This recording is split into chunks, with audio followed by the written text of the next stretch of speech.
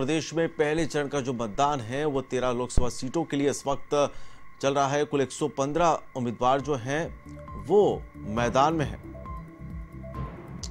पहले चरण में दो करोड़ सत्तावन लाख पचास हज़ार तीन सौ इठहत्तर मतदाता हैं, जबकि एक करोड़ बत्तीस लाख इक्यासी हज़ार पाँच सौ दस पुरुष, एक करोड़ चौबीस लाख अड़सठ हज़ार सात सौ छब्बीस महिला, जबकि लगभग साढ़े छह लाख नौ मतदाता पहली बार अपने मताधिकार का प्रयोग भी यहाँ पर कर रहे हैं। राज्य में कुल इक्यावन हज़ार नौ सौ पैंसठ मतदान केंद्र बनाए गए हैं।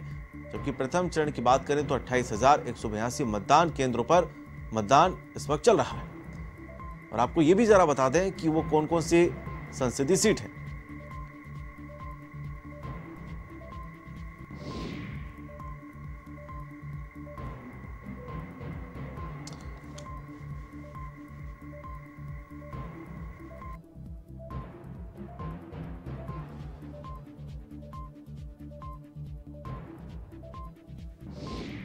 छिंदवाड़ा, कोटा, झालावाड़, बारा, में इस वक्त जो वोटिंग है, वो चल रही है।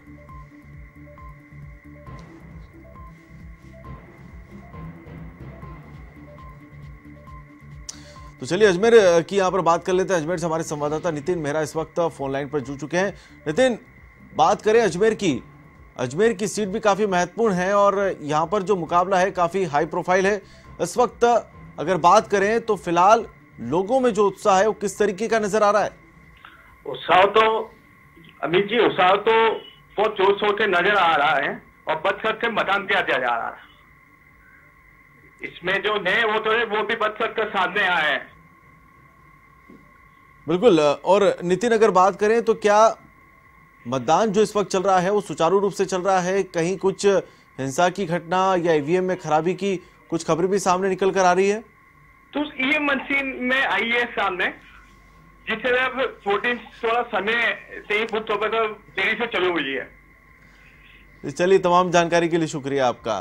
तो अजमेर की सीट है और यहाँ पर जो मुकाबला है, वो रिजू झुंझुनवाला, जो कि कांग्रेस से है और जबकि बीजेपी से भागीरथ चौधरी हैं। यह हाई प्रोफ़ाइल जो सीट है, वो मानी जा रही है। कड़ा मुकाबला यहाँ पर देखने को भी मिल रहा है।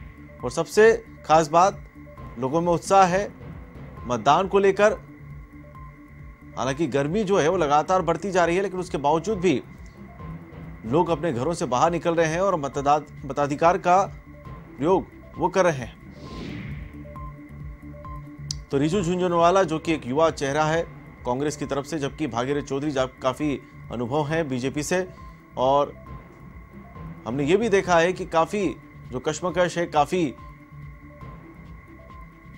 जो कांटे की टक्कर जिसे कहा जा रहा है वो यहाँ पर है।